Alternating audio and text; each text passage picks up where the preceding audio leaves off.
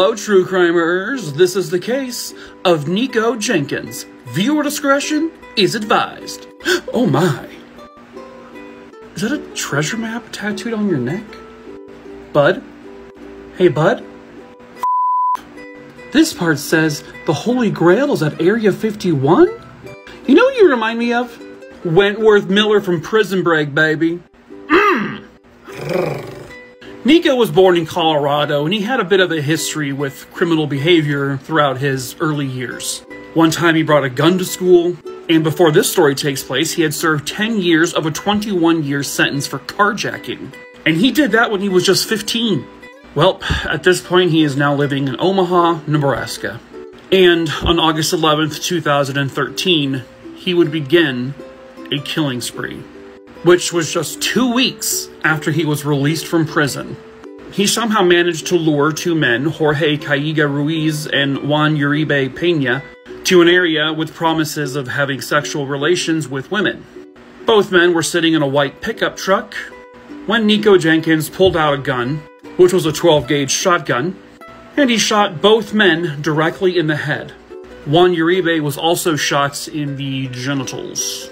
Now, on August 19th, 2013, Curtis Bradford, someone that Nikko Jenkins actually knew from prison. Well, Nikko found him and gave him two shots to the back with the same shotgun. Then on August 21st, 2013, his fourth and final victim, Andrea Kruger, she had just closed up the lounge she worked at called the Deja Vu, and she was on her way home when she had the unfortunate luck to run into Nikko Jenkins. He randomly chose her and shot her in the neck, the face, and one of her shoulders. On August 30th, 2013, Nikko Jen- Oh, Jesus. I can see he's taking it seriously. Nikko was arrested for terroristic threats, which are apparently unrelated to the shootings. Now, the police already had surveillance footage that would tie Nikko Jenkins to some of these killings. They also have evidence that someone in his life helped get him the weapon. But Nikko here would claim to be insane. He said he was schizophrenic, he said he was bipolar, he said he had OCD, but a court appointed psychiatrist would say, nah, you're faking that shit. They said he was faking his psychotic delusions. But he would still claim that he killed those four people because an ancient serpent god named Apophis instructed him to do so. The f On April 16th, 2014, he was found guilty of all four counts of murder. He was sentenced to death and also 450 years. You have a lot on your plate, sir. He appealed to SCOTUS, and they said, nope. oh, hello, true crimers. It's time for another episode of International Killers. And today, we're going to England. And I promise I won't do this butchered attempt at an accent for much longer. Viewer discretion is advised. I think I turned into Mrs. Doubtfire there at the end. I apologize to all of the United Kingdom and the Queen herself for that whatever the hell attempt at that accent that was. So, who is England's most prolific serial killer? Well, he also happens to be the world's most prolific serial killer. And his name is Dr. Harold Shipman, who kind of looks like Robin Williams circa Good Will Hunting. Hey, it's not your fault. Well, actually, no, it is your fault. This is all your fault, so.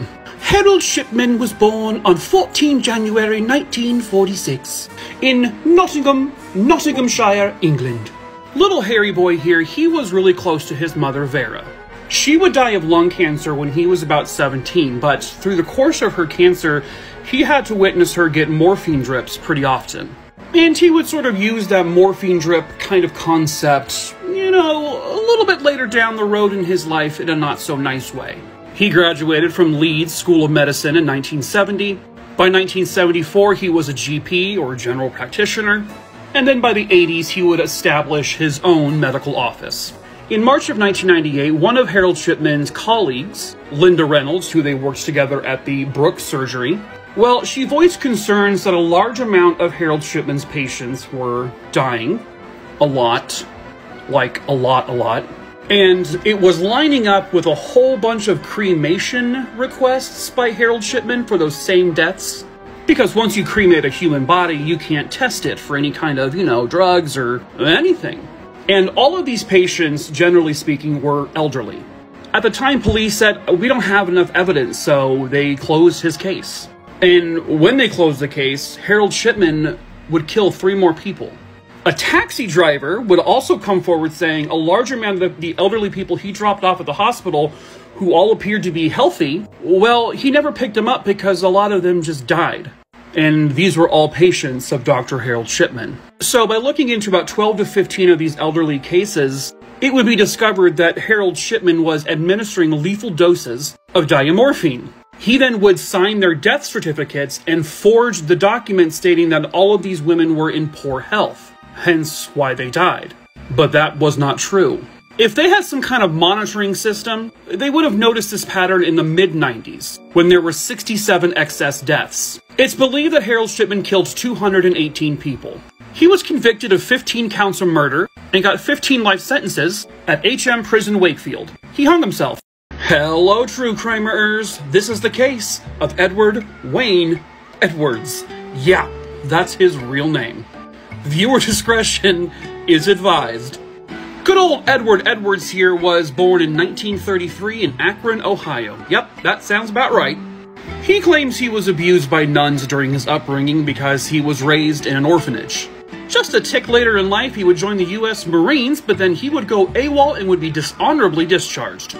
Off to a good start so far. Around the mid 50s, he would impersonate Marines, to which he got arrested for this, and he was put in jail in Akron, Ohio. In 1955, he broke out of jail. He was reapprehended in 1956 after he burglarized a few places. In 1960, he broke out of jail again, and this time he was added to the FBI's 10 most wanted list. Maybe put a leash on him, fellas. He was caught again, got 17 additional years, and he would eventually become paroled in 1967. And this is when he would become a serial killer. I mean, are you shocked his middle name is Wayne? Of course he's a serial killer. 1977, Ohio. William Billy Lavaco and his girlfriend, Judith Straub. Well, EWE, or EW, Edward Wayne Edwards, well, unfortunately for this couple, he would come across them, robbed them, and shot them both with a shotgun, killing them. 1980, you know, Concord, Wisconsin. Tim Hack and Kelly Drew well, again, unfortunately for them, they came across Ew, and he would strangle and stab them to death. This case was labeled the Sweetheart Murders. Now, obviously, EWE, he wasn't caught for the first set of murders, and he wouldn't be caught for these murders for quite some time. 1996, Burton, Ohio. This is Danny Boy Edwards. Yes, again, that is his real middle name. He was the foster son to EWE. Well, his foster father would shoot him in the face for $250,000 of insurance money. Now, little side note, since you all know I'm a big fan of making a murderer, there is a popular theory going around that Edward Wayne Edwards is also the real killer of Teresa Halbach. The woman who was murdered that Steven Avery and Brendan Dassey are now serving life sentences in Wisconsin for doing. Remember, Edward Wayne Edwards is familiar with Wisconsin. EWE was known for trying to frame other people for his murders, and it's widely believed that Steven Avery was framed for the murder of Teresa Halbach. This is a scene from Making a Murderer. There in the background behind Kenneth the Walrus Kratz, many people speculate is in fact Edward Wayne Edwards. This is all mainly a conspiracy theory. Thanks to DNA evidence, he would be caught in 2009. He was convicted of five murders and sentenced to death. But he would die of natural causes in Ohio in 2011. Ew. Oi! Hello, true crimers! It's time for another episode of International Serial Killers. And today, we're going, if you can't tell by my near perfect accent, we're going to Mexico. Oi, no. We're going to Scotland. Alright, I'll probably stop this accent right now. It's likely offending a whole bunch of people. Oh. Scotland's most notorious serial killer is, is a psycho named Peter Manuel. Peter would actually be born in New York City here in the States, but his parents were both from Scotland. They then lived in Detroit, Michigan for some time before eventually going all the way back to Scotland in 1932. Yeah, this is an old one. They moved to Birkenshaw, Lanarkshire. When he was 16 years old, he actually sexually assaulted a just a string of women, and he was sentenced to prison for nine years. He then would defend himself later on in 1955, defend himself at his own trial for another sexual assault uh, charge, which he won. Then, between the years of 1956 and 1958, he would graduate from sexual assaults to murder. He confessed to the murder of eight different people. Now, he would only be charged officially with seven murders because with the first murder he committed, there wasn't any, like, evidence to directly connect him to it. He first killed 17 year old Ann Kneilands, where he repeatedly beat her with an iron. This was in 1956. He would then kill Marion Watts, her daughter Vivian Watts, and her sister Margaret Brown. They were all shot dead in Burnside, Lanarkshire. He then went on to kill a taxi driver, 36 year old named Sidney Dunn in Newcastle. This was in 1957. Also in 1957, he went on to kill another 17 year old girl named Isabel Cook. He sexually assaulted her and then killed her by strangling her. And then finally, in January of 1958, he would then kill mother and father Peter and Doris Smart and their 10 year old son, Michael Smart. They were all shot dead in Uddingston. Now, he enjoyed some alone time in their house. He actually stayed at their house for a week after he murdered them. I should also mention he wasn't actually tried for the murder of uh, Sidney Dunn. This was allegedly because that murder took place outside of the jurisdiction. But then later down the road, they would determine that uh, he did actually kill Sidney Dunn. When he was arrested in 1958 and was charged with all of the murders, he would again defend himself in court. He would be his own attorney. One of the family murders he did, he actually tried to blame on the father, which that didn't work. In July of 1958, he was executed. He was hanged at the gallows. Last words? Turn up the radio, I'll go quietly. Hello, true crimers. This is a serial killer, and his name is Herbert Mullin. And, uh, sir, you have a piece of hair on your cheek, and it is really pissing me off. That's better. How do you guys like my new hair? Alright, let's read about this piece of sh Herbie the Pervy Mullin over here was born in 1947. I think horse and carriage was still being used back then, right? Who am I talking to? There's no one here. In high school, he was voted most likely to succeed. He would, I guess, succeed at something. At being a little bit. Also in high school, one of his friends, Dean Richardson, died in a car accident. So he did what any normal high school student would do he built a shrine to him in his bedroom. And then he would begin to fear that he was becoming a homosexual.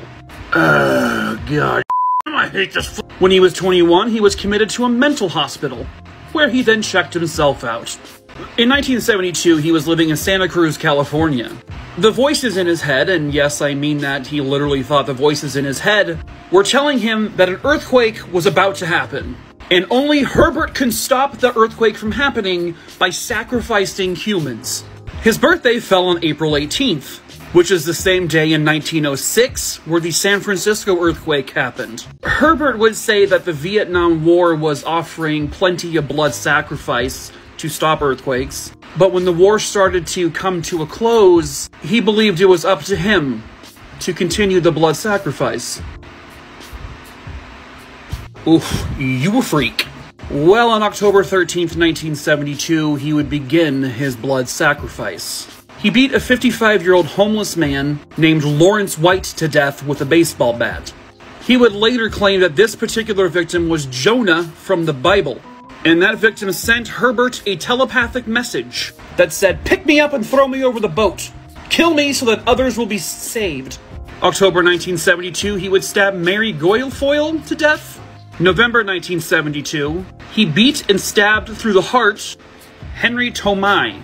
January 1973, shot and stabbed Jim Gianera, and also Joan Gianera, and Kathy Francis, and her two boys Damon and David. February 1973, he shot David Oliker, as well as Robert Michael Spector, Mark John Dreibelbis, Brian Scott Card. The last four were teenagers. His last victim was on February 13, 1973, 72 year old Fred Perez. He killed him in broad daylight. Plenty of witnesses saw it. They also saw his license plate. And he was caught really quickly. He then confessed to all of the crimes. He was found guilty of both first degree and second degree murders and got life in prison without parole. This is him now. Bye. Whoa, hello, true crimerers. This is the story of serial killer Robert Pickton, or the Canadian pig farmer. We're in for a porkin' bad time. You know, I'll just go. Trigger warning, I'm about to show his picture. Hey. Hey, bud. Aren't you the guy with the weird hand from the scary movie movie? People magazine's hottest guy of the year 2007, Robert Pickton here. He was born on October 24th, 1949, and he was born in Port Coquitlam, which is in British Columbia, Canada. When Pickton's parents were both dead in 1978, they had left him the family farm along with his two siblings. But only Robert, who was also known as Willie, because of course he was, he was the only one who really wanted to do anything with the farm. Pickton was known as someone who kept to himself and seemed to have a quiet personality. On March 23, 1997, he would be charged with the attempted murder of a sex worker.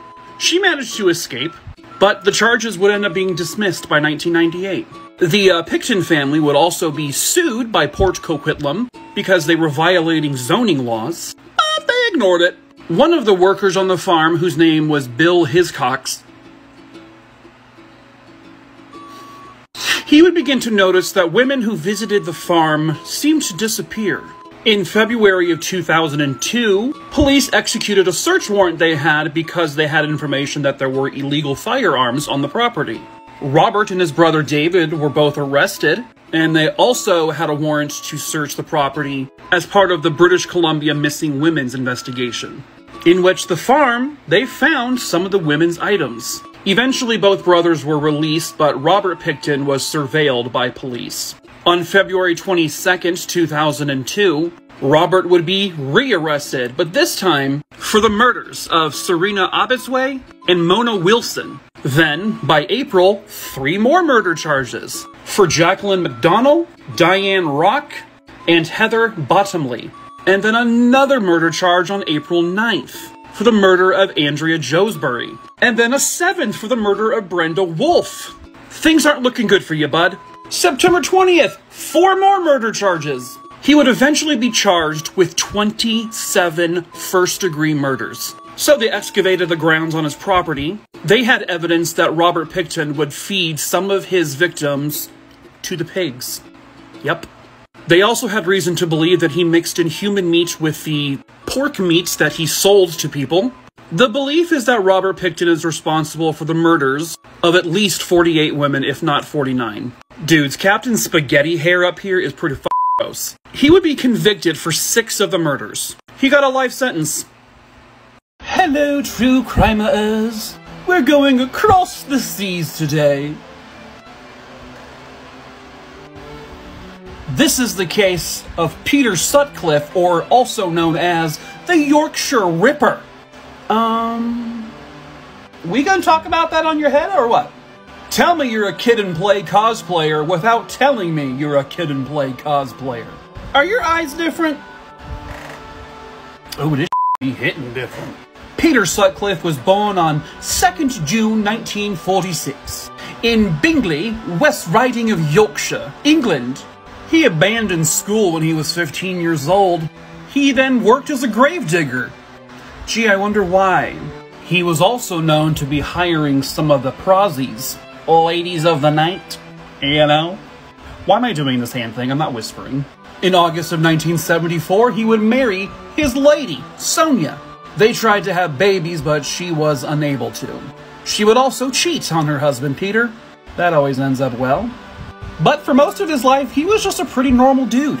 He didn't show any real signs of the issues he would later have, with the exception of being kind of obsessed with prostitutes. Who isn't? In 1969, this creeper would assault his very first lady of the night. He beat her over the head with a rock that was in a sock. Now, the woman didn't want to press any charges because she just wanted to be done with it. And then he was a good little boy until 1975. He would attack a couple more women and a little more violently this time. He used a hammer to beat them over the head, and he even slashed one of them in the back with a knife. Luckily, these victims managed to survive. But then 13 women, 12 of them pictured here, they would not be so lucky. He would meet these women, most of them being ladies of the night, His preferred murder tool was a hammer. What he liked to do was beat them over the head with a hammer until they were either unconscious or dead. And then after that, he would then just stab them, cut their throats. He would mutilate their bodies, essentially, with some sort of sharp instrument. Not only would he go on to murder 13 women, but he injured seven more women. Women who managed to survive being hammered over the head. So, he had the two first victims who survived, his tester women, I guess, then the 13 women he killed, and then the seven women sprinkled in between that he attacked and they managed to survive. He had 22 total confirmed victims, and his crime spree ranged from 1975 to 1980. On January 2nd, 1981, he was caught by police after he solicited a prostitute, and evidence would link him to the murders. In 1981, he was found guilty and sentenced to life, where then he would go on to write Game of Thrones. Hello, true crimers. This is the case of serial killer Oscar Ray Bolin. Don't worry, I will be nothing but respectful to him because he is a human being with feelings, and I would never want to bully a serial killer. Viewer discretion is advised. Oh, look how happy he is. He was born on January 22nd, 1962, in Portland, Indiana. Now, the kind of interesting thing about him, he basically lived most of his young life in the carnival circuit. His family was like carnival workers. So he got to see a lot of cool shit and a lot of weird shit. And his father beat him, and his mother emotionally scarred him. One time, she walked him to the school bus and put a leash on him. Now, in 1987, Bolin here, well, he decided to kidnap a woman with a couple of guys. This happened in Toledo, Ohio, and she was a 20 year old waitress. Now, him plus the other two men repeatedly sexually assaulted the woman, and their intent was to kill her, but the gun they had malfunctioned. So they just let her go, which then led to his arrest. This, this arrest. He and his friends were actually convicted of kidnapping and sexual assault. He was given 22 to 75 years in prison. Well, in 1989, his ex wife, who's now remarried, she spilled the beans on something pretty horrific. On January 25th, 1986, a 25 year old Church's Chicken manager named Natalie Blanche Holley was kidnapped. And this was in Tampa, Florida. A few hours later, her body was found. She had been stabbed multiple times. Bolin's ex wife said she helped dispose of the evidence. His ex wife also knew about the murder of another woman. On November 5th, 1986, 17 year old Stephanie Collins, well, she would vanish after a work shift. A month later, her body was found wrapped in this sheet. Bolin had told his ex wife about the murder. But wait, there's more. On December 5th, 1986, 26 year old Terry Lynn Matthews, guess what? She went missing. Her body was found later that day. Her throat had been slashed. One of Bolin's cousins, guess what? He confessed to helping kill Terry Lynn Matthews. By the way, while he's in prison, he gets married to a woman who was on his defense team, and they were a happy couple until the very end, which was on January 7th, 2016. Oscar Bolin was indicted in Florida as he was serving prison for the other crimes. He would go on to be convicted of three capital murders and got three life sentences. These three women got their justice. He was executed in Florida by lethal injection. Oh, hello, true crimers. This is the brutal case of Richard Speck. The Speckster here was born on December 6, 1941, in Kirkland, Illinois. You look like a news anchor in this photo, and I don't like that. Speck grew up in a slightly normal but also slightly troubled home. He had issues throughout school. By age 12, he was already drinking and he was an alcoholic by age 15. In July of 1963, he kind of got involved with the law when he forged a coworker's paycheck for only $44. He also robbed stores and he was given a three year prison sentence for these crimes. Just a week after he was paroled for those crimes, in 1965 he chased down and tried to attack a woman with a butcher knife. She managed to get away and he got arrested. He got 16 more months in prison. Basically, little things like this, they were adding up throughout his life. On the late Chicago evening of July 13, 1966, Richard Speck would break into a townhouse that was actually housing um, nurses. It, it was essentially a dormitory for nursing students. The women inside included Corazon Amurao, Gloria Jean Davy, Suzanne Farris, Merlita Gargullo, Mary Ann Jordan, Patricia Matusek, Valentina Pasion, Nina Jo Schmale, and Pamela Wilkening, all of them between the ages of 20 and 24. When Speck broke into the home, he forced three of the women by gunpoint into a back bedroom where he discovered three more women. He used torn up bed sheets to tie them all up, and he bound both their hands and their feet. Now, he told the women, I'm just here to rob you, that's it. He was drunk because he had been drinking at several different bars throughout Chicago. At midnight, three more nurses came home, so he took a gun to them and tied them all up as well. So now he has nine women captive. Then he would take each woman one by one into a separate room, where he would then either strangle that woman to death or he would stab them to death. Roughly 20 to 30 minutes in between each woman, so the women just in the other room could hear them as they were literally dying. They could hear their muffled screams and cries for help as they died. So he did this to all of them. The final woman he brought into the room, who was Gloria Davy, he sexually assaulted her before he then strangled her to death. These nurses were best friends. They had a great time, they loved each other's company, and they were all just so excited for the prospect of a new career in medicine, only to have it all snuffed away by a monster. Speck left fingerprints everywhere. He also left a witness. Corazon Amurao managed to escape death because she hid under a bed and Speck likely lost count of who was there. Speck would eventually get eight life sentences. It would all end on July 23, 1997, when a spree killer ended his own life in a Miami Beach boathouse. Hello, true crimers. This is the case of Andrew Cunanan, and I gotta do this one quick. There's a lot. So, growing up, Andrew was known to be a liar, a manipulator. He would spin wild tales to make himself look cooler. He one time even said that he met fashion designer Gianni Versace. He'll come up a little bit later. Andrew would come out as gay in high school, and he would become infatuated with older men. In his adult life, he would manipulate older gay men, you know, for their money. In December of 1995, Andrew met a man by the name of David Madson, and they would end up having a long distance relationship. But David quickly realized that something was off with Andrew. So in 1996, he called off their relationship, even though Andrew said that he was the love of his life. Andrew also had a friend who was a former Navy officer by the name of Jeffrey Trail, but it got to a point where their friendship was just too much. And when Andrew said, Hey, I'm gonna go out to Minneapolis to see you, Jeffrey reportedly told his sister and his friends, like, Oh my god, I don't want Andrew here. Oh my god, he can't come here. Jeffrey had recently found out that Andrew was selling drugs. In fact, he was also addicted to painkillers and alcohol. He just didn't want any of that in his life. But Andrew went out there anyway. Andrew arrived in Minneapolis in April of 1997. He stayed at Jeffrey Trail's apartment while Jeffrey was actually out vacationing with his boyfriend. And Jeffrey had told his boyfriend, like, I have to have a really serious conversation with Andrew. But when they got back from vacation, Andrew was gone from the apartment.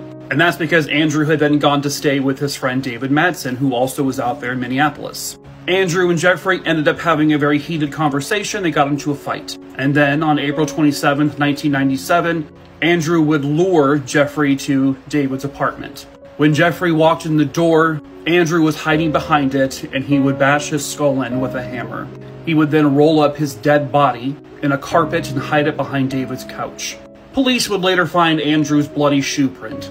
Andrew would then take David hostage and then eventually kidnap him, take him on a road trip in David's car. They got to a place near Rush Lake in Minnesota where Andrew would take out a gun and shoot David three times, killing him. Andrew then took David's car, drove to Chicago, where he met a real estate tycoon by the name of Lee Miglin, and Andrew would torture him. Stabbed him 20 times, he slit his throat with a hacksaw, and then stole his car. Andrew then drove to New Jersey, where he came across a cemetery caretaker named William Reese. Andrew would shoot him dead and steal his car. And then by July 15th, 97, He got to Miami Beach, Florida. He walked up to Gianni Versace's house. He was outside collecting his newspaper, and Andrew shot him in the back of the head. He then ended his own life. In 1979, in Atlanta, Georgia, a string of murders would begin. Do they have the real killer? Hello, true crimers. This is the case known as the Atlanta Child Murders. Viewer discretion is advised. On July 28, 1979, the bodies of two young men, Edward Hope Smith, pictured here, and Alfred Evans, pictured here, they were both 14 years old, and they had both gone missing several days prior. They were both shot dead with a 22 caliber bullet and they were both found discarded in a wooded area. On September 4th, another body of another 14 year old boy was found. October 21st, a 9 year old boy's body would be found. This pattern of discovering the bodies of young men who had gone missing, it just kept piling up. And for a while, it was just typically males. But on March 4th, 1980, they would find the first female body a 12 year old girl by the name of Angel Lenair. By May of 1981, they had discovered the bodies of 28 children and two adults. This is most of them. It was believed that these were all victims from the same person, who would be nicknamed the Atlanta Monster, or sometimes referred to as the Atlanta Child Killer.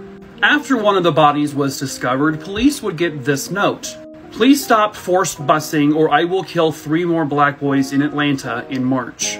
Yes, every single victim was African American. Eventually, they got another note, and this time the Zodiac was claiming this. Or someone claiming to be the Zodiac claiming to be the murderer. Hello, it's me. Haven't you people figured out who is killing these little people yet? I'll give you a hint. I used to be in San Francisco. I used to stalk women, but I like to kill children now. They utilized over 100 agents to investigate this crime spree. Curfews were put into place. Children were not allowed to leave their homes anymore. Children were afraid to literally go anywhere, thinking they could be next. On June 21, 1981, a man by the name of Wayne Williams was arrested. He was linked to the two adult murders. Both of those victims were 22 years old. They were able to trace fibers back to Williams that had been found on several of the other child victims. Some of the kids were strangled with cords, cords that Wayne Williams also had, but none of that definitively linked him to it. In February of 1982, Wayne Williams was convicted of the two adult murders. He was given two life sentences without parole. To this day, it is believed he is the Atlanta child killer, but that's never been made official. Do you know this boy? Do ya? You probably don't. Come on in close, and I'll let you know who he is. Oh, hello, true crimers. This is the case of Peter Woodcock slash David Michael Krueger. Viewer discretion is advised. Now, in order to talk about this young fella here, we gotta go up north to Canada, you know. Peter was born on March 5th, 1939. One month into his young life, his birth mother just gave him up. And then he would be placed into the foster system where he would bounce around from home to home to home. And unfortunately, this would create some psychological issues. I'm sorry, doesn't he kind of look like Andrew Cunanan a bit? Sadly, Peter was also physically abused by at least one set of foster parents to a point where his neck was so badly injured he had to be hospitalized. And we're talking as like a two year old. He would develop a fear of people, understandable. He developed a speech problem. But when he was three years old, he found his permanent home. This one, right here, it was the home of Frank and Susan Maynard, a couple who did well for themselves, and by all accounts, they treated Peter wonderfully. Peter, however, would be bullied by neighborhood kids. Worried about his health and his mental state, they would check him into the hospital for sick children. But it just didn't seem to work. He would have violent thoughts that he would say out loud. Like, I wish a bomb would fall and kill all of these children. That's an actual quote from him. Peter would love to ride around on his bike. and pretend he had a gang. And then he would make his sick fantasies become reality. On September 15th, 1956, when Peter was 17 years old, he would lure seven year old Wayne Millette to a quiet location and strangle him to death. There were bite marks left on his body, and Peter had left a. He went number two, right next to the body. October 1956, he would kill nine year old Gary Morris. He strangled and beat him to death. And again, there were bite marks on his body. January 1957, he would kidnap four year old Carol Voice. She was strangled to death and sexually assaulted. And he left a tree branch inside of her. This would be a composite drawing they drew about the assailant. Peter was quickly caught. He would be deemed clinically psychotic, and he was acquitted by reason of temporary insanity, but was put into a mental institution. In 1991, he and this guy killed a fellow patient, and he died while institutionalized. A drifter would use the railroad systems throughout Canada, the United States, and Mexico, and he would become one of the FBI's top 10 most wanted fugitives. Hello, true crimers. This is the case of Angel Maturino Resendiz, otherwise known as the Railroad Killer. Viewer discretion is advised. He was born in Puebla, Mexico in 1959, and he would eventually go by many, many, many names. The primary name that most people knew him by was Rafael Resendez Ramirez. Now, he would illegally hop aboard trains that would go up and down the United States, which is where he primarily spent his time. But he did cross the border to Canada and then also went back to Mexico at times. On August 28, 1997, 21-year-old Christopher Mayer, he was walking with his girlfriend, Holly Dunn, and this was in Kentucky, and this is Holly here, when the railroad killer, as we'll just call him, he attacked the couple. Christopher was beaten and stabbed to death. Holly was beaten, stabbed, and sexually assaulted, but she would survive. He would use Holly's belt to tie her up, but she eventually freed herself. Now, this attack happened right along the railroad tracks. This killer would always stick by the railroad tracks, so he had an easy getaway. December 17th, 1998. 39 year old Dr. Claudia Benton in Texas she was sexually assaulted, beaten, and stabbed to death. May 2nd, 1999. Norman and Karen Sirnic, also in Texas. They were both bludgeoned to death by a sledgehammer at the United Church of Christ, where Norman was a pastor. And again, the church was right by a railroad track. October 2nd, 1998. 87 year old Leafy Mason, also in Texas. She was bludgeoned to death with an antique iron. June 4th, 1999. 26 year old teacher Noemi Dominguez, she was bludgeoned to death with a pickaxe. Also on June 4th, 1999, 73 year old Josephine Konvicka, also in Texas, she was bludgeoned to death with the same pickaxe that Noemi Dominguez was. June 15th, 1999, now he's in Illinois. 79 year old George Morber and his 51 year old daughter, Carolyn Frederick, were shot and bludgeoned to death. Police pieced together that this killer is using the railroads. He also left palm prints and fingerprints at every crime scene. And that's when he became one of the FBI's top 10 most wanted. On July 12, 1999, at the behest of his sister, he would turn himself in. He was only put on trial for the murder of Claudia Benton. He was convicted and sentenced to death. He confessed to several other murders. He was executed in 2006. Getting a ride from a stranger through Uber or Lyft is supposed to be safe. Well, in this particular story, it was not. Hello, true crimers. This is the case. Nobody likes me. Misa no likes. Jason Brian Dalton. Viewer discretion, you know it. It's advised.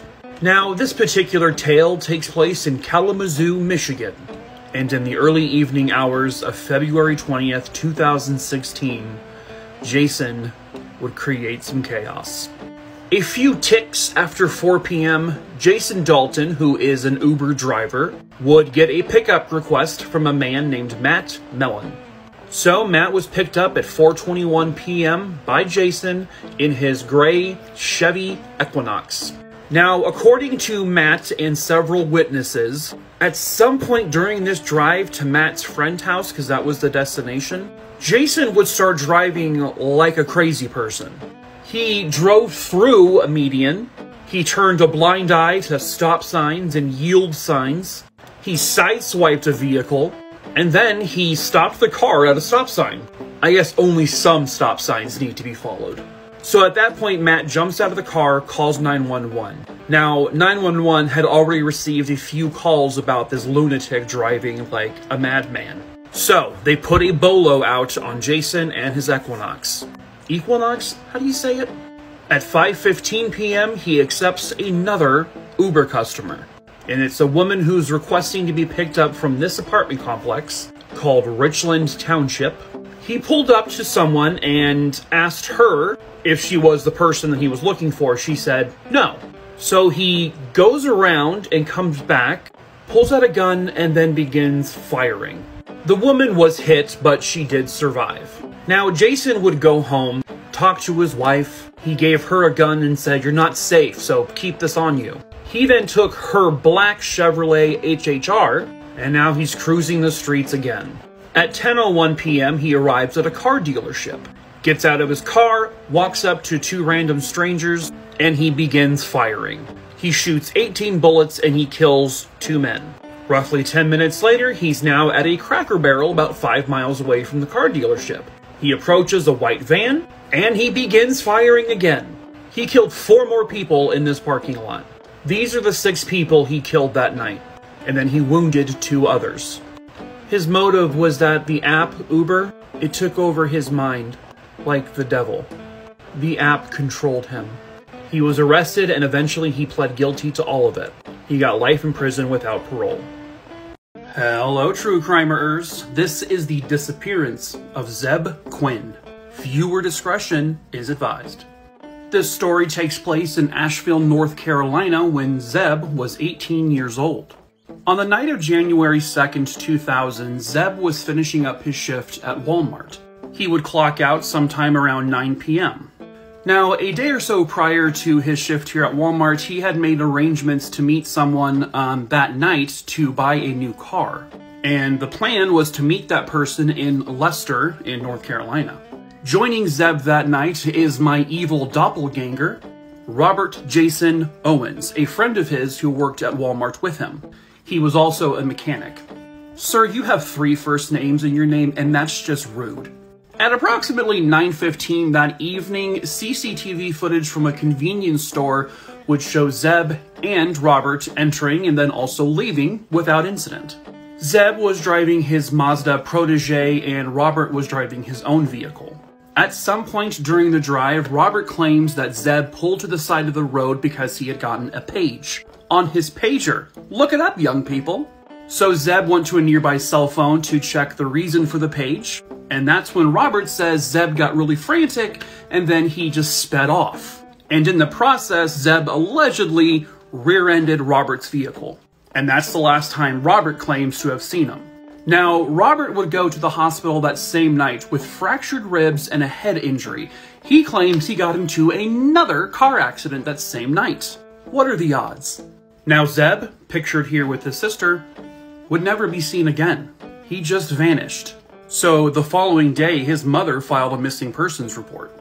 A couple of days later, the Walmart that Zebb worked at got a phone call, apparently from Zebb calling out of work. The coworker said that didn't sound anything like Zebb. It would soon be revealed the person who called was actually Robert. He said it was because Zebb asked him to do so. Okay. On January 6th, so a few days later, Zebb's Mazda Protege was found at the parking lot at a barbecue place. On the back window, written in lipstick, were painted lips with an exclamation point, and also in the car was an alive Labrador puppy. What? Now, most people were pretty suspicious of Robert, but there really wasn't any evidence to charge him with anything until 2015, when Robert murdered three people Food Network star Christy Schoen, her husband J.T. Codd, and their unborn child. He struck them with his car and then dismembered them. Robert was convicted of that. Now, authorities searched Robert's property. They found buried clothing items and bone fragments. So he was charged with Zebb's murder, but he's still awaiting trial, and there's no motive. Oh, Jesus. He's a spree kid. No. He's a mass mur- No. He's a serial killer? All of the above? I don't even know. Hello, true crimerers. This is the case of the creepily mustachioed man, Roger Dale Stafford. Viewer discretion is advised.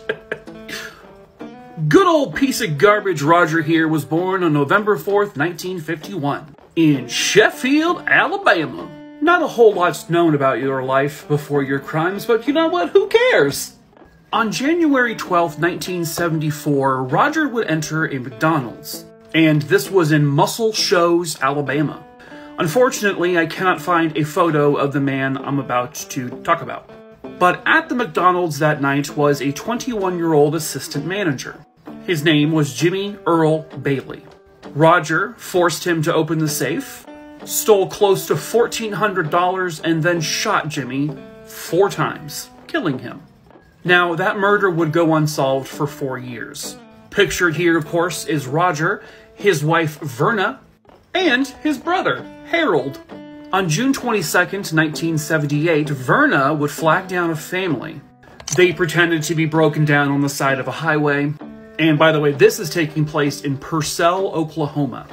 I think that this right here is Melvin Perez. Well, he was with his family, his wife Linda, and then their 12 year old son, Richard.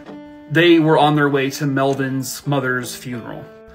They wouldn't make it because this little trio here tricked the family into pulling over to help them. When the family pulled over, they robbed them and killed all three of them, shot them dead, and then just left them on the side of the road.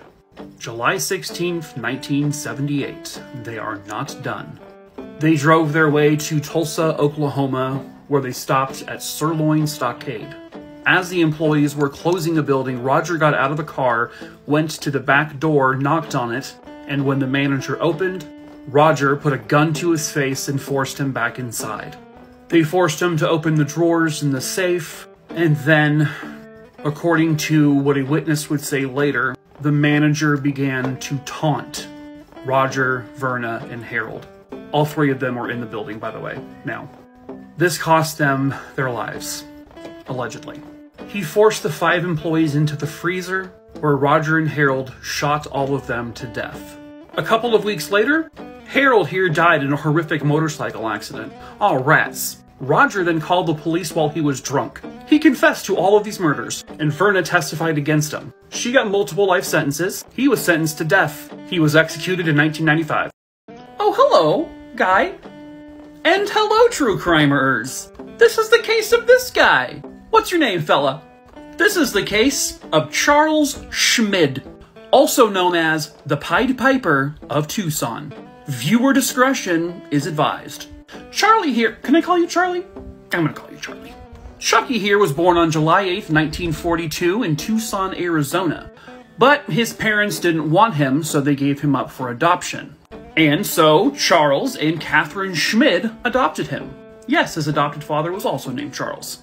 His new parents operated the Hillcrest Nursing Home in Tucson. Charles didn't really take to school that well. He didn't excel in any subject, but he was an excellent athlete. And he also had his dashing good looks.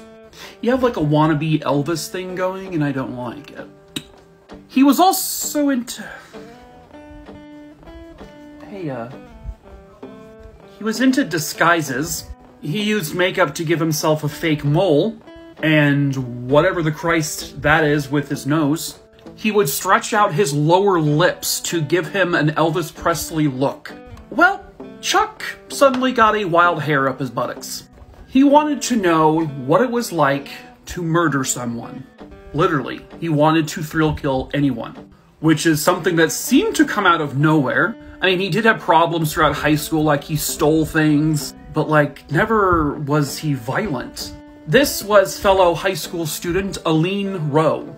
Charles managed to convince her to hang out with him and his girlfriend Mary French and one of his best friends, John Saunders. They took her out to the Arizona desert. Mary sat in their car while John and Charles beat Alleen to death with a rock. She, of course, was reported missing, but she wasn't found for some time. Another one of Charles's girlfriends, Gretchen Fritz, well, Charles decided to tell her what he did to Alleen, and then he feared, uh-oh, what if she tells on me? So Charles drove Gretchen and her kid sister, Wendy, to the desert and murdered them. Both. I, I don't even know why the sister had to be involved. He then brought one of his friends, Richard Bruns, to the bodies to show what he did. And knowing Charles's history, Richard fled to Ohio. But then he came back, and he told authorities everything that Charles had done. He even ratted out Mary French and John Saunders. In 1967, they found the body of Alleen. The three of them went on trial. Mary got five years, John got life without parole, Charles was sentenced to death. But in 1975, he was stabbed 40 times by fellow inmates and died. Blockbuster Video is a ghost town now! I see most of you probably don't even know what this is. Hello, true crimers! This is the case of Leon Dorsey. Viewer discretion is advised. No, you're not seeing duplicates. I have covered another Blockbuster Video murder, as well as a Hollywood Video murder. But believe it or not, there are others. It was the night of April 4th, 1994. There were two employees still remaining inside the Blockbuster Video, which was in Dallas, Texas. Those employees were 20-year-old Bradley Lindsay and the 26-year-old assistant manager, James Armstrong. Sometime shortly before midnight, Leon Dorsey would enter the Blockbuster. Yes, some were open that late. And he would immediately rob the two men. He forced them to the back office, and this is the actual CCTV still image from the back room where he was forcing them to open up the safe. Now, allegedly, most of this crime was captured on the CCTV camera, but back in the day, it was just a series of still images. It wasn't like actual moving, you know, video. Now, at some point, James Armstrong tried to flee, but Leon did not like that, so he shot him. And it was with a 9mm pistol. At that point, Brad Lindsay was now a witness to murder, so Leon Dorsey shot him dead as well. He stole a grand total of $400 from a register. $400 is what two men's lives cost. Now, at some point, he was actually questioned by police due to some witness testimony, but they didn't have anything to really hold him on, so they had no choice but to release him. On September 1st, 1994, now in Ellis County, Texas, Leon finds his way into a convenience store and there he finds 51-year-old Hyun Suk Chon. He then was going to force her to open up the safe and steal the money, but for some reason he just shot her in the back of the head and killed her. This time, police questioned him again and found out he had a 9mm handgun. The ballistics would come back to being the exact weapon that killed Mrs. Chun, and the exact pistol that killed the two men at the Blockbuster. He maintained his innocence, but again, he was caught on camera from several angles. However, it wouldn't be until 1998 that he actually would confess to the murders. He was convicted and sentenced to death, and on August 12, 2008, he was executed by lethal injection. Thrill killers are by far the most terrifying type of murderer to me. Killing for no reason and with reckless abandon Hello, true crimers. This is the case of Eric Royce Leonard. Viewer discretion is advised. On the evening of February 12, 1991, in Sacramento, California, at a Quick Stop convenience store, three people would be shot dead. The victims were 35-year-old Stephen Anderson, he worked there, 22-year-old Zayed Ahmad Obaid, he also worked there, and then a 42-year-old customer named Tor Johnson.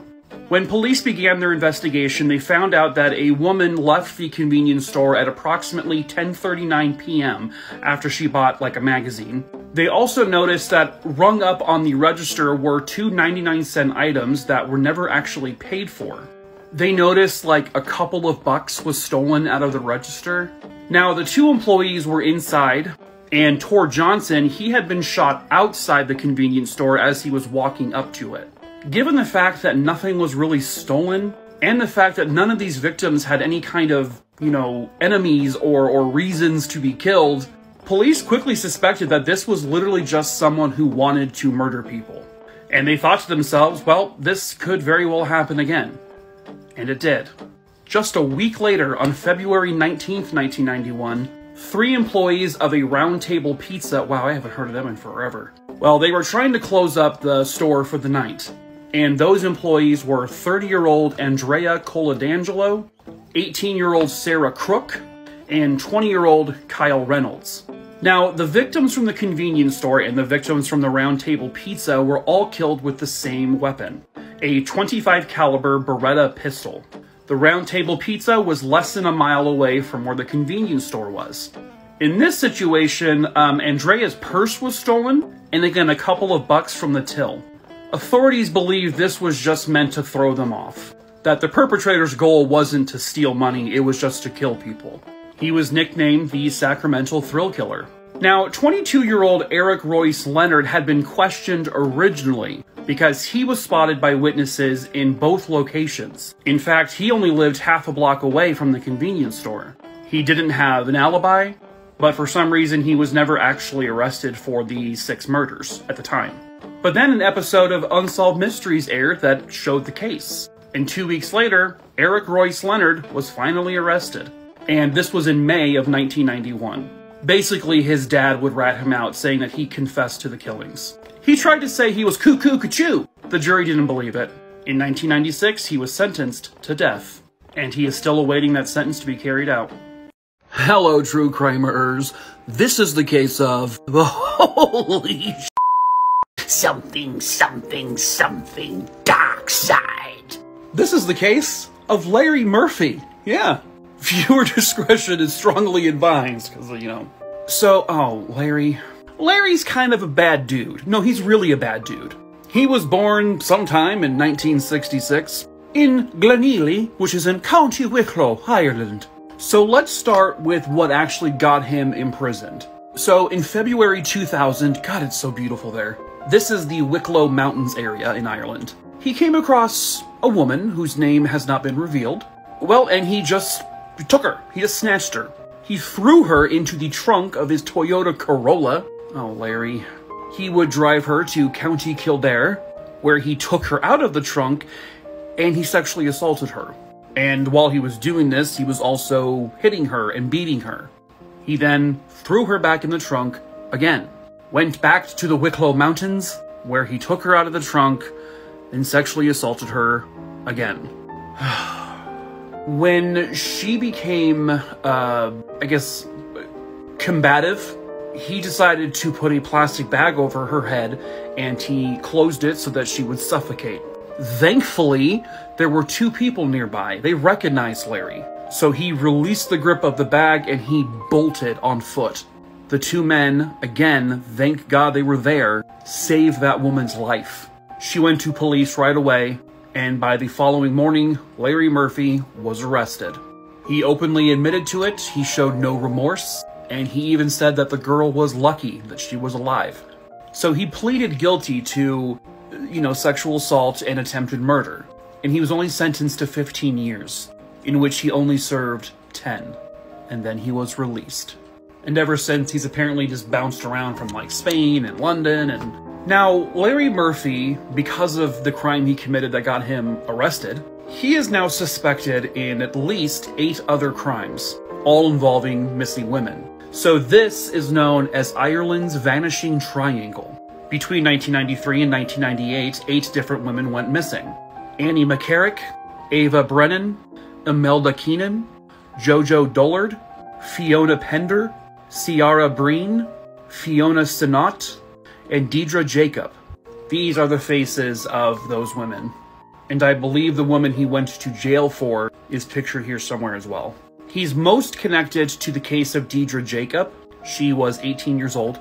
and also to Annie McCarrick, a case that I covered before on this page.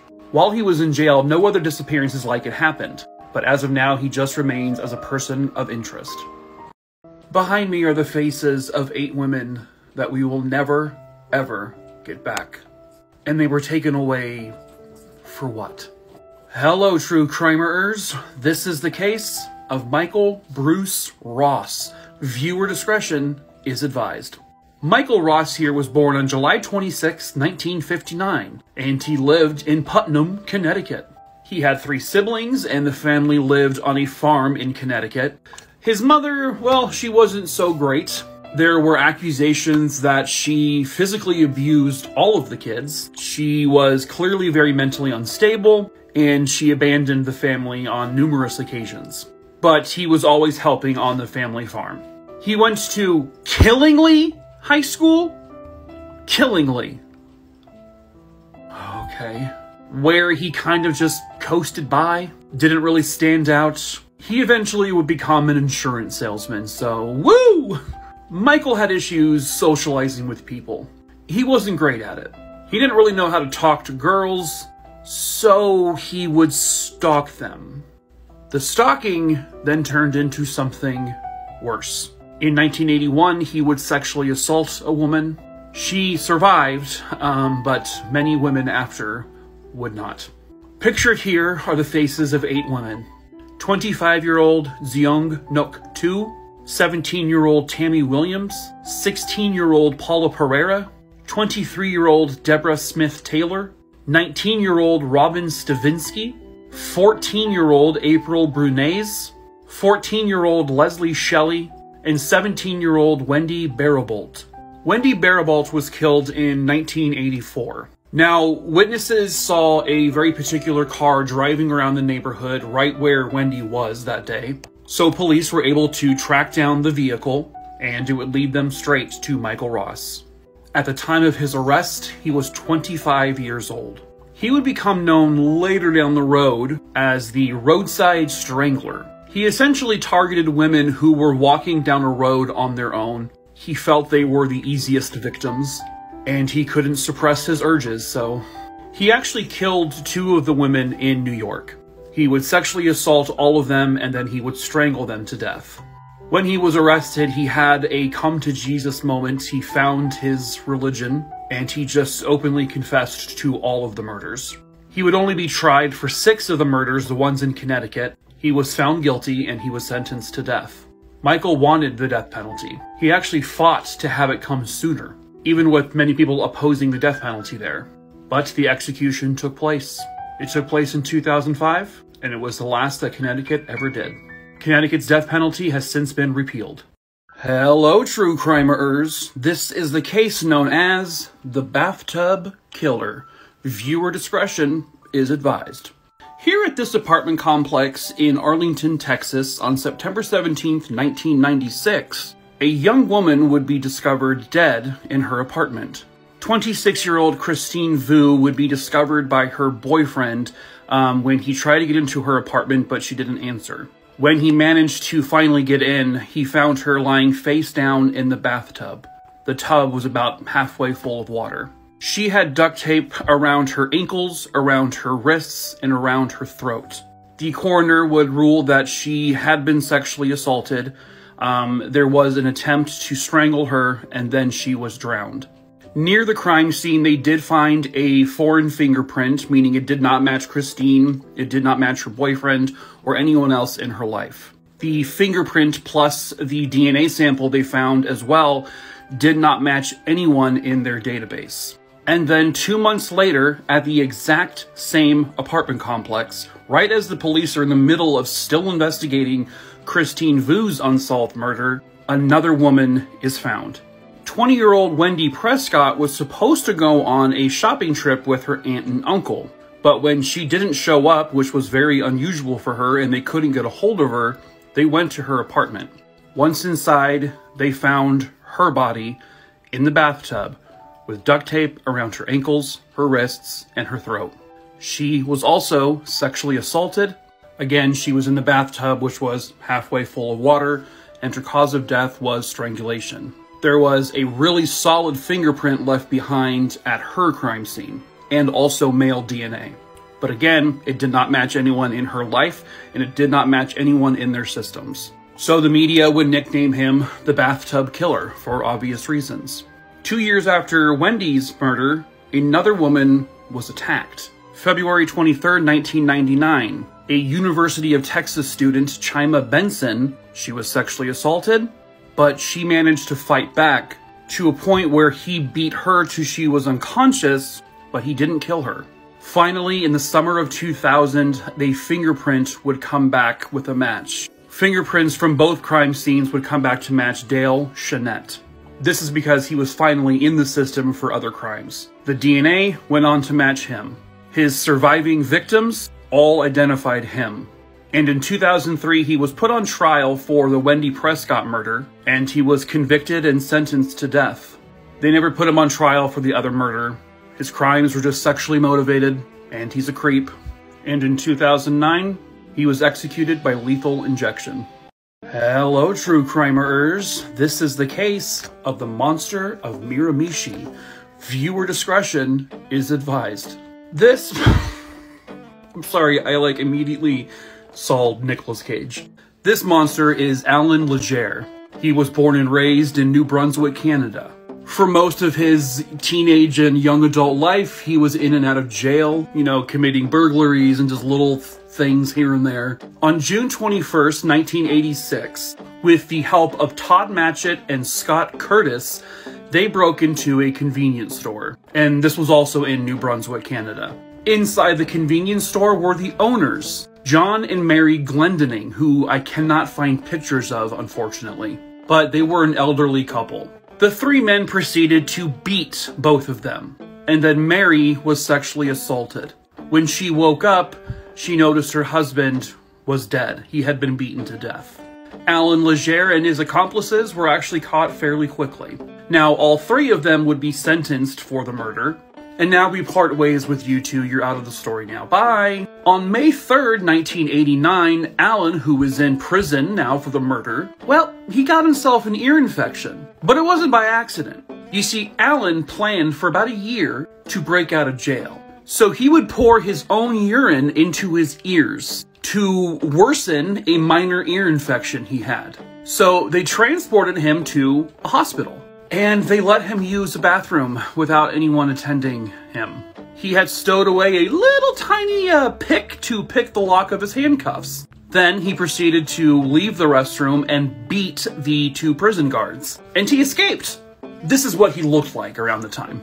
Then, through a series of carjacking, he eluded police.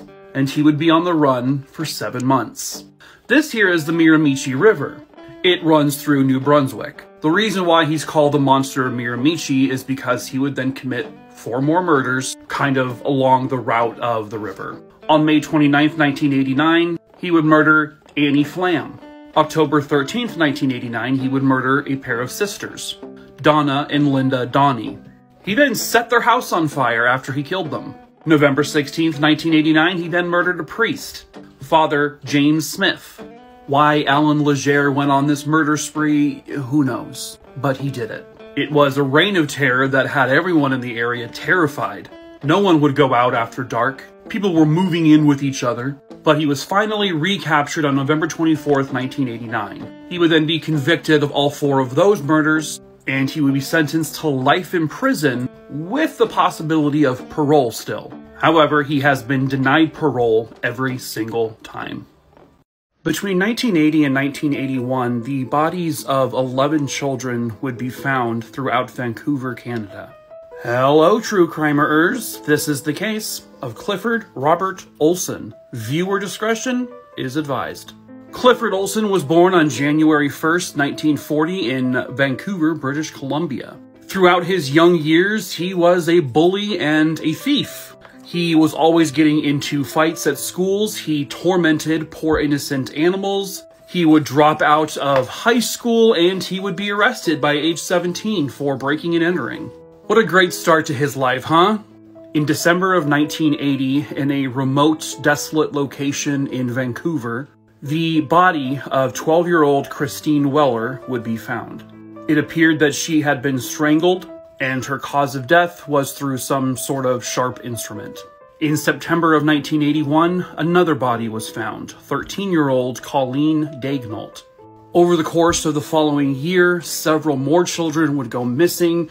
Body after body would be discovered in more remote locations throughout Vancouver.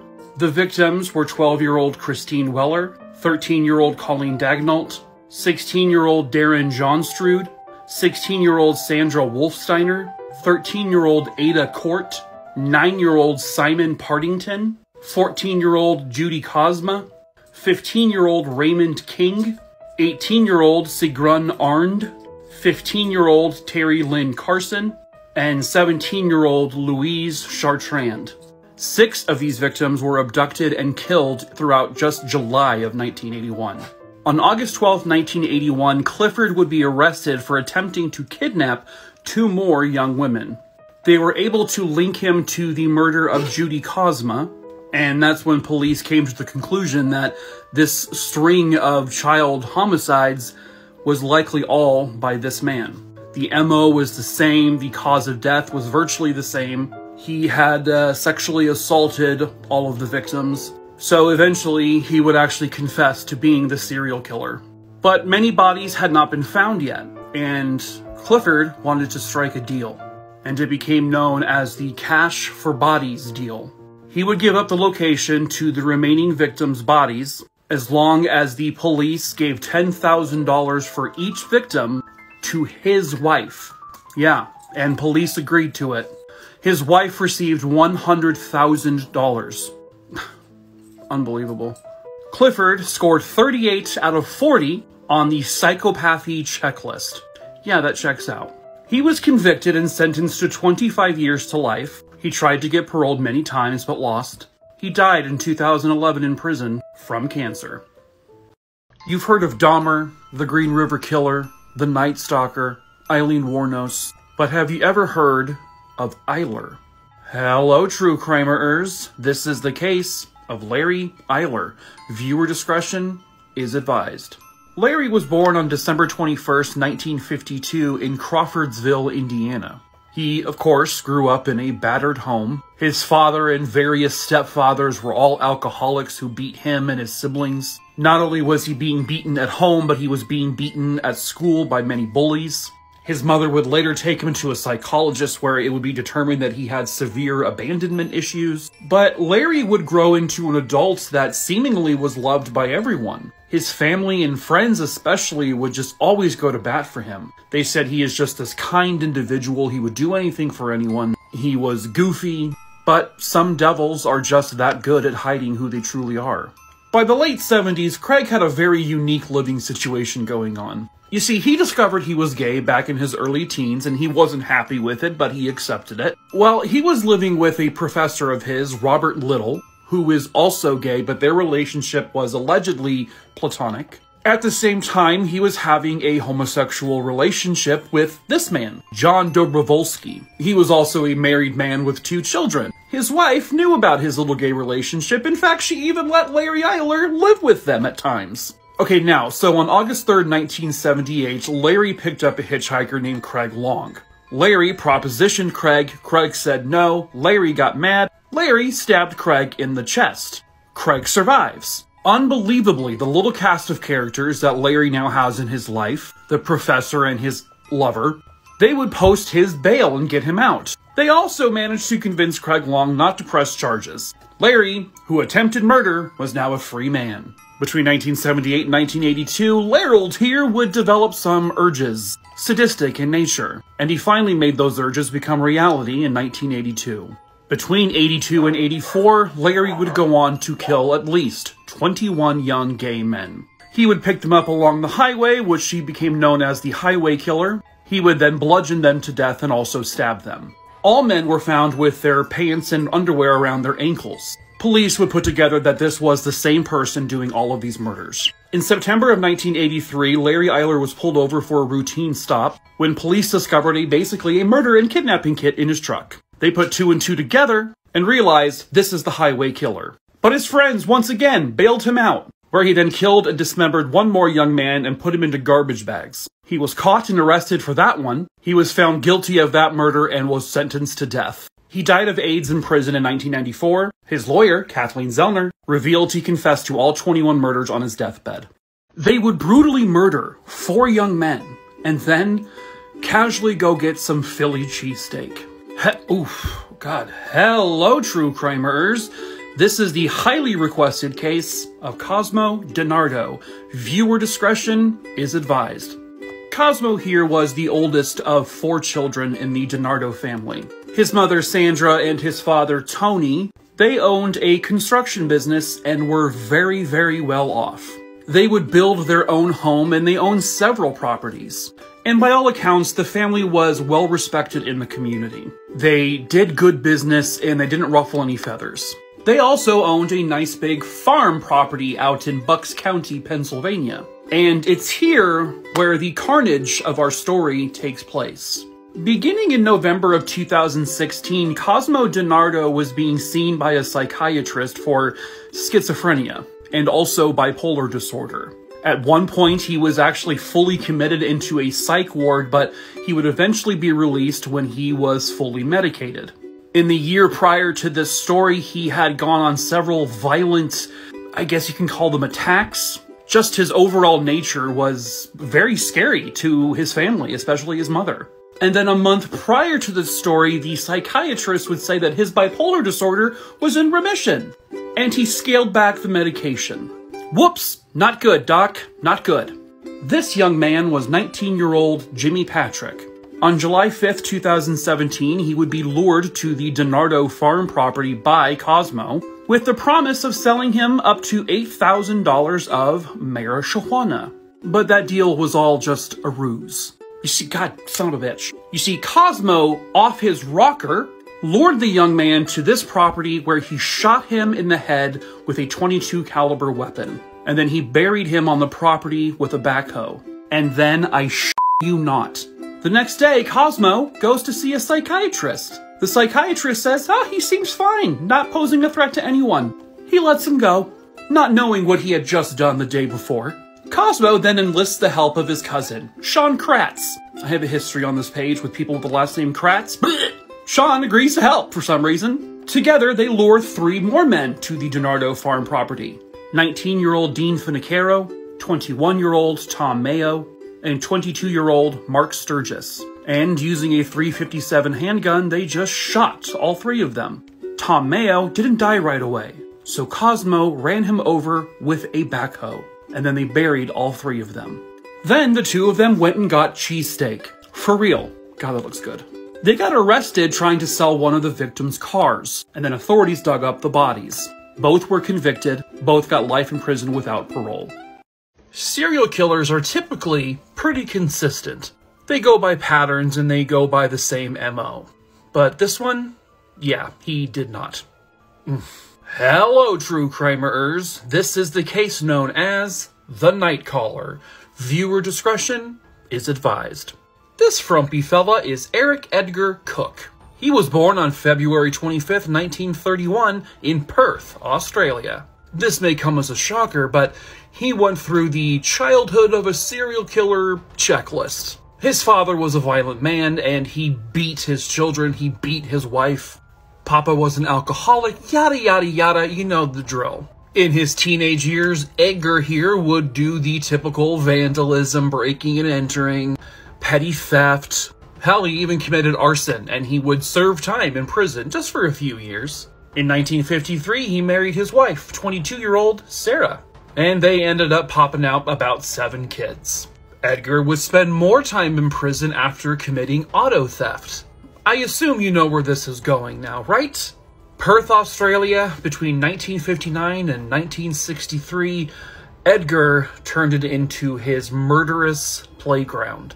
And when I tell you this guy had no consistency, he would commit a series of hit and runs. He would break into homes in the middle of the night. He would stab, he would shoot, he would strangle, he would use knives, he would use scissors, he used an axe. Some of them were killed after they woke up when they discovered a man in their house. Some he killed while they were sleeping by shooting them. He simply knocked on one of their doors, and when they opened, he just shot them. One of the deceased victims, he. Uh, he had his way with one of the female uh, corpses. Some bodies he discarded, some bodies he left where they were, and his victims were Patricia Berkman, Brian Weir, he's the gentleman on the right front, John Sturkey, George Walmsley, Lucy Madrill, Shirley McLeod, Jillian Brewer, and Rosemary Anderson. He had no particular type. He killed men, he killed women. Eight of his victims would die, the eight I just showed, and 14 others he attempted to murder but failed. His crimes were so sporadic, so random, where none of them matched the previous ones that police actually arrested other men for some of the murders. Until police found one of the murder weapons, one of the guns. They swapped it out with another gun that didn't work in hopes that they would lure the real killer to come get the gun. And it did. He walked right into their trap, and then he confessed to all of them, even the ones the police had no idea he did. Why? He was just batshit crazy, and he was executed by hanging